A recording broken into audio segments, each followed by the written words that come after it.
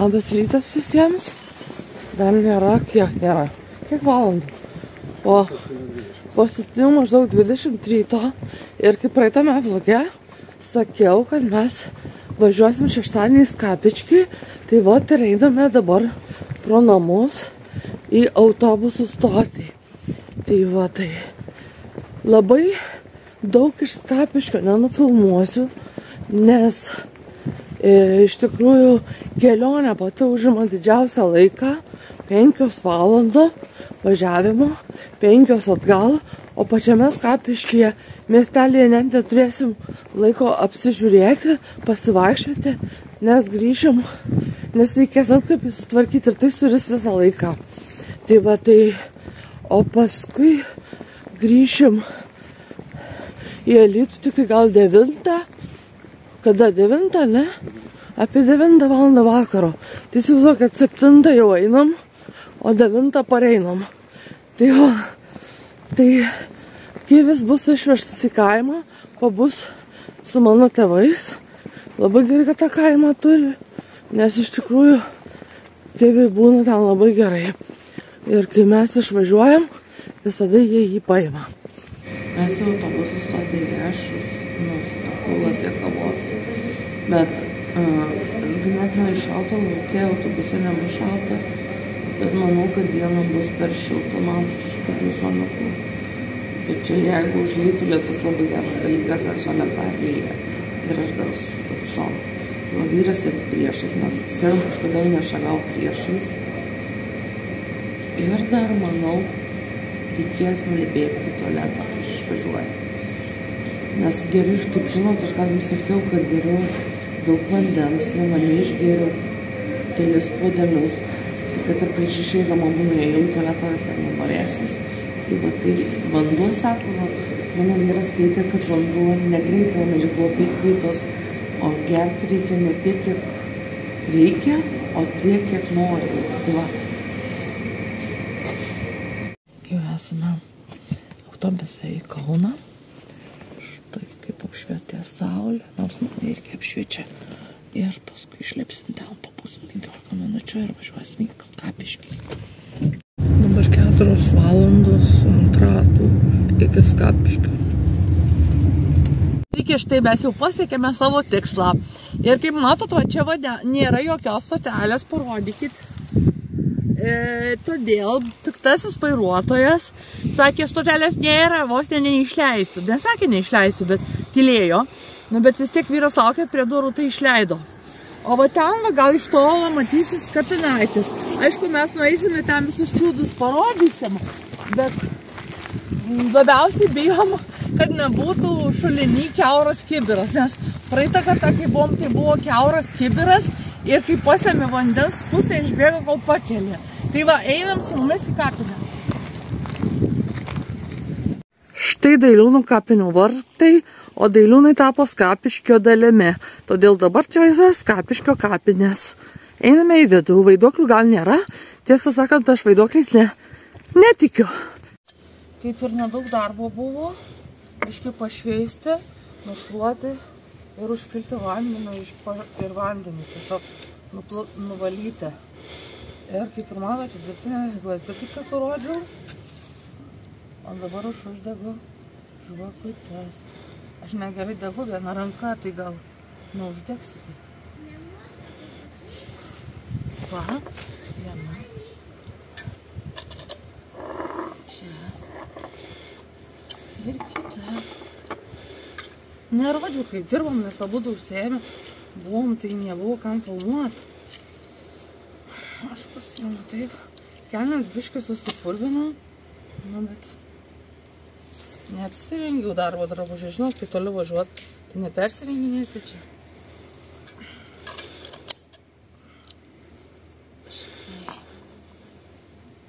Viskas. Ir ką, mes dabar turbūt dar truputį čia pabūsim, o paskui eisim pešiomis į skapiškį, nusipirksim gerto gal ir valgyt ir tada lauksim autobuso, kuris apsisukęs grįžta vėl į Kauną, tą patį sėsim, tik jau bilietus pirksim autobuse, va, toks, tokia kelionė, vėl 4 valandos iki Kauno ir valanda iki Alitaus. Tai va tiek. Tai mes ir Skapiškėje, Vilniaus gatvėje. Vilniaus gatvė yra pagrindinė Skapiškio gatvė. Ir aš pamačiau tavo labai įdomų namelį. Ir galvoju, jums parodysiu, čia apskaitimą įdomu. Žiūrėkit, virš balkono. Paskui ten virš balkono tokias išraižytas. Labai gražu, dar kažkoks šventasis žiūri, du šventieji. Ai, čia kunigaikščiai per balkoną žiūri, žodžiu. Čia turbūt kažkoks medžiadarbys, dievo darbys pasistatė namą, tai dar pagražino. Mes labai arti neįkėmės čia operatoriui, sakau, nes mus iš čia išvys. Mes dabar eisim į centrinę aikštę. Ir ten yra kaip ir centras, kaip ir, kaip jau pavadinti dabar. Jeigu didelė mieste yra meras, tai čia greičiausiai yra seniūnas. Tai va, tai mes einam iki seniūno pastato. Štai ir ta centrinė aikštė, kur toliau matote. Čia priešais yra varpinė, nes čia kažkada buvo, ne kažkada, nu, seniau buvo Švento Laurino bažnyčia, bažnyčia. Ir jinai prieš šimtą metų maždaug buvo nugriauta ir liko tikrai varpinė, bet sakyčiau, labai gražiai puošia, nes man tikrai labai labai graži ir man net gražiau užsininaityje. Čia yra seninija, biblioteka ir kiti organai. Kaip matot, tai yra ir Ukrainos vėliava prie Lietuvos vėliavos. Aš žinau, kad daugam jau įdėsiu tas karas Ukrainoje, bet ne Ukraina kalta, kad juos dabar netgi rengia, man net tai vėl ukrainiečių, nes dabar visi pavargę nuo karo, taip viskas Ukrainai, viskas Ukrainai. Bet mes džiaugiamės, kad ne pas mus karas, o pas juos. Tai ką, ar gali padėti truputį savo kaimynams, ne visai kaimynams, nu, labai kurie mus palaikė, kai mes buvom nepriklausomi, tapom nepriklausomi ir mes kartu ėjom iš vien, o dabar kaip ir visi pavargom nuo karo, bet ir patys ukrainiečiai pavargo. Ir jiems patiems sunku ir dar sunkiau, kai mes jų nepalaikome. Tai va, o ten yra, kai pamiršau kas, ten yra kažkoks paminklas. Koplytėlė pirmosioms misijoms. Va, vyras pasakė, koplytėlė pirmosioms misijoms. Tai ten tokias su kristum prikaltų prie kryžių. O čia va tokie seni pastatėliai, žiūrėkite, ir namai, kur kažkas gyvena daugiau. E, čia, to, čia vienai šeimai, ten vat, jau greičiausiai dideliai šeimai, o, ten, o čia vat, toksai kaip ir aikštė, aikštė, o dabar esame parduotuvę, aš žiauriai noriu gerti. Vat žiūrėkit, aikštę žvalgykitės, pasisukiokit, gal visai jums čia įdomu, o man tai įdomu eiti pro ją. Iš tikrųjų, gal vaizdas kitoks bus nufilmuotas, bet iš tikrųjų labai labai čia man toksai jaukus ir erdvus laukas. O čia mano nemėgstamiausios gėlės žydė. Aš pamiršau jų pavadinimą. Šilokai. Šilokai. Aš nemėgstu šilokų, jau kažkas manau tai teikia. Bet tik nemėgstu šilokų. Ką aš kalta?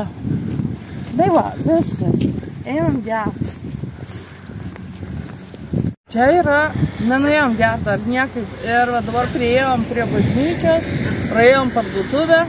Ir čia yra Šventoje Cinto bažnyčia, arba kitaip vadinamas lietuviškai Jatskaus bažnyčia. Ir ta ką aš daugiau neturiu ką apie ją pasakyti. Jis man labai gražiai balta. Bet esmė ta, kad aš niekada, aš visą laiką painioju, sakau niekada, bet visą laiką. Painioju, kad reikia, reikia sakyti bažnyčia, bet reikia sakyti koplyčia. Nors į čia, į čia. Bet vat, keista, kad taip yra, nes todėl, kad vienas turi daugiau skiemenų, kitas mažiau, ten pagal antrą nugalą skiemens kirčiuotė yra taisyklė kirčiuotė. Tai va, viskas, einam į parduotuvę, gerti, pirkti.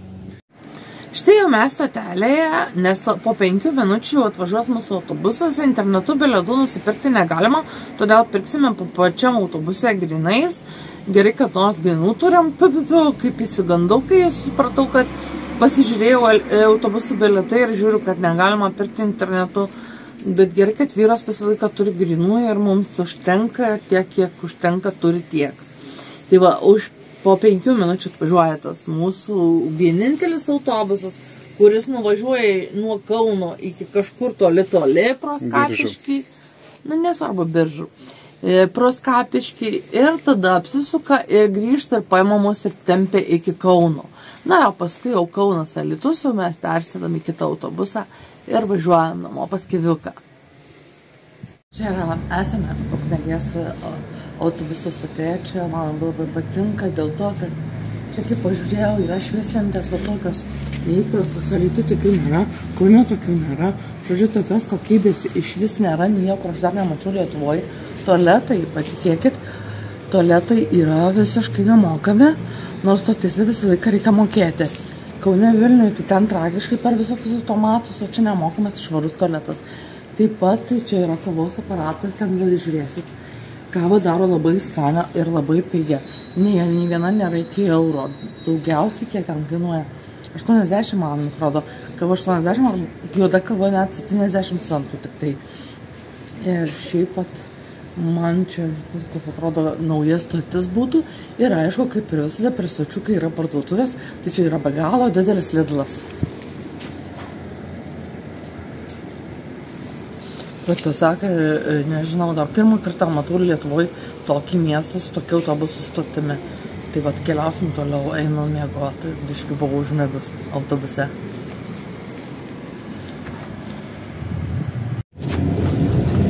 Pravažiavom per oro uostą. Tiksliau buvo mūsų tokie kelis žmonės. Vieną žmogų išleido, niekas neįlipo.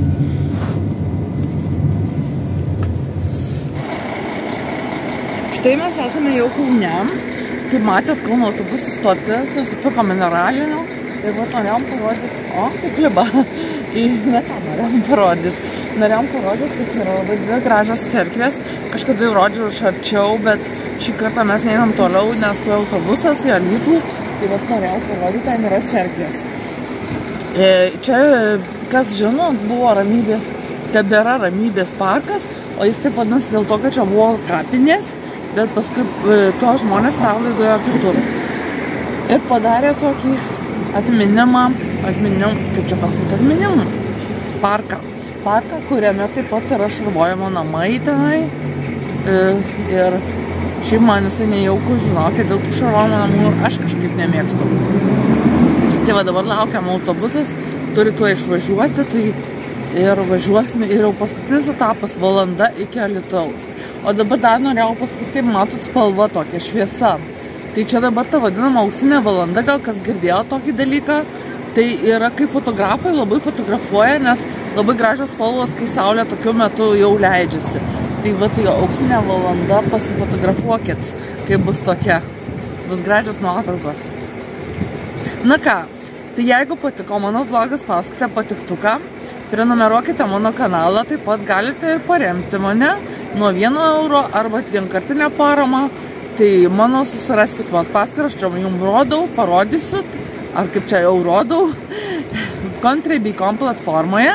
Ir taip pat, kuriems aš patinku, mano vlogai patinka, galite užeiti į Facebooko grupę blogerė Lorita Mažonė ir ten susiradę, pagal įvedę vlogerė Lorita Mažonė, pasikvie, pa, išsiųsti pakvietimą ir aš jūs priimsiu. Ar Kauno autobusų stotį vyras va geria, nusišypso, kalbai visino. tai va, matėt, kaip šypsosi Edmundas. Jis geria ir iš kapučino labai mėgsta tas prieskonį. Ten yra berots kažkokio alkoholio prieskonis, e, kur galima kartais pasidaryti tą ir iš kapučino dėl to, kad būna, pavyzdžiui, degalinėse nusipirkti kavos ir įsipilė būtent to, to sirupo O čia jau iš karto iš automato jisai nusipirko ir dabar geria. Tai va, turim truputį laiko, negaliu pažiūrėti dabar į laikrodį, čia tėvas rodo, nėra laikrodžių. Čia, žodžiu, gal 15 minučių jo liko ir važiuojam į Alytų. Taigi jau yra po 9 minutės, mes ką tik parėjom. Pirmiausia, nulikiau atsigerti, nes labai noriu gerti. Norėjau gerti. Ir Mūsų kelionė truko apie 14 valandų, išėjom pusę aštuonių, grįžom po devynių šiek tiek. Ir Edmundas labai atsiprašo, kad visuose filmuotose video, kur jisai filmuoja, įskyrus šitą, nes labai stengiasi, jisai labai garsiai alsuoja. Tiesiog taip išėjo, atsiprašome, nekreipkite dėmesio, viskas bus gerai. Jie, yeah, ir ate iki kito mano video.